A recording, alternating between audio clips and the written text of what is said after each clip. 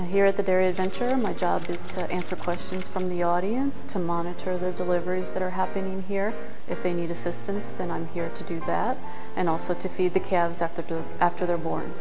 Probably the Dirty Jobs ep uh, episode was uh, the most fun thing that I've had here.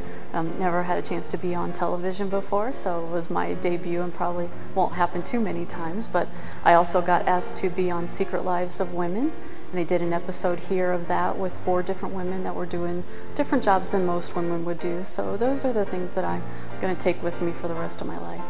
Well, actually, my first calf delivery was when I was about 14 years old. Um, um, my dad worked for a farmer, and he had asked me to go out and help him. And um, the it was a beef operation and the heifer was struggling. So my dad had me um, handing him all the different things that he needed to uh, help with the delivery, the lubrication and getting the chains ready and that type of thing. And we ended up having a live birth, so that was a great thing because sometimes on the beef farm we don't find out about it till the calf is already gone. So um, it was a good experience there. At the dairy itself, um, the most memorable are the ones that are kind of unique. Uh, maybe things are not going really the way you would like them to go. Maybe you've only got one leg or you got maybe the tail coming out first. So those in those situations you have to learn how to reposition the calf then to get it out. So those are some interesting things that I do. It is a lot of fun uh, delivering babies. Um, I can't imagine myself in a desk job in an office somewhere just talking to people or whatever. I get to be out here experiencing people and also um, helping the moms with their deliveries and the babies. Um, there are some good things and bad things that go with everything. So sometimes we have some complications and a lot of times we have easy deliveries and I don't have to do a lot.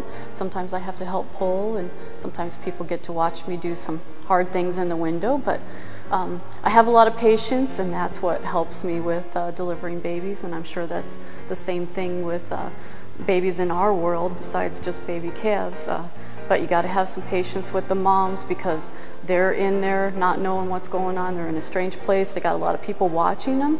So it's a little bit more of a, um, a little bit more challenging here because you have the audience and if things don't go right, then there's no, no way to hide it. It's going to happen here. Okay, actually we're having the raffle um, here for a person to help deliver a calf. Of course I'm going to be there to help with the delivery also, so if there's any problems or to let them know how, how to do things and what they need to be watching for.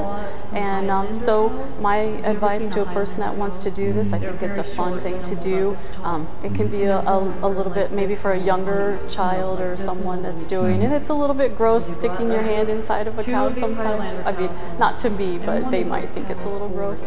But um, actually, it's a very cool thing to see that live calf coming out.